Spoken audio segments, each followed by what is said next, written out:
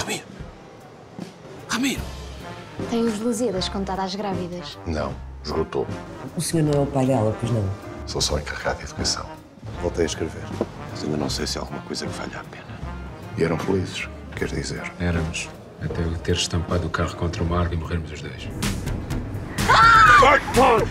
Olha a estrada, Patrícia!